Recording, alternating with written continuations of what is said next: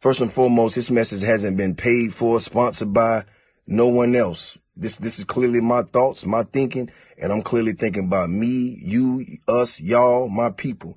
First and foremost, I'd like to commend everybody that's non-black that's been out here marching, protesting, hashtagging Black Lives Matter, hashtagging defund the police, whatever we got to do.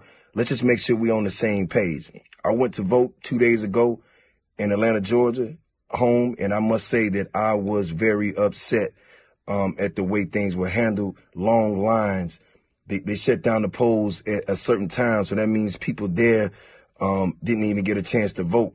Um, if you if if you didn't know your official's name and it wasn't on the ballot, you wouldn't know who you was voting for. So you got to research that. And uh, the machines didn't work, so you can already tell we at a disadvantage. So I'm gonna say this: we got to get on the same page, people. Right? We got to do what we got to do. If we can show up at a Falcons game for a tailgate party, we can show up at the polls in, in numbers and forces.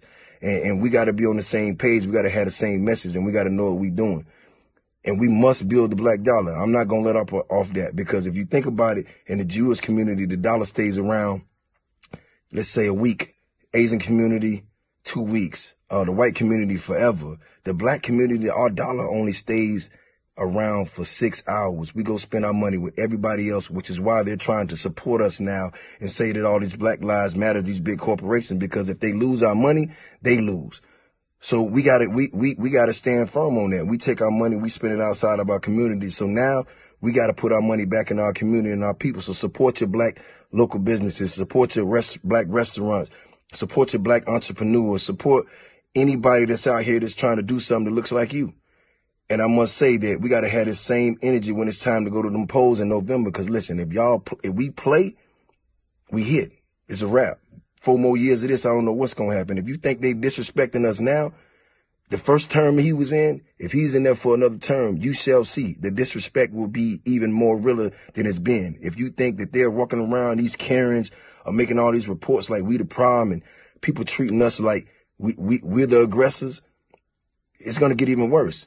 And they're not even, they're not even sweating. So we out here marching, we out here using our leg work and our energy and they're sitting at home waiting on November. And I can't stress to you enough.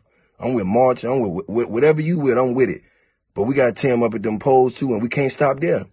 We can't stop there. We got to keep going. We can't stop. This is real. This is real. So I commend all my brothers and sisters that are non-black that's marching with us. We got to be in this together. We got what Martin Luther King had in Selma times a million.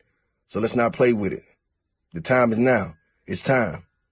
It's time.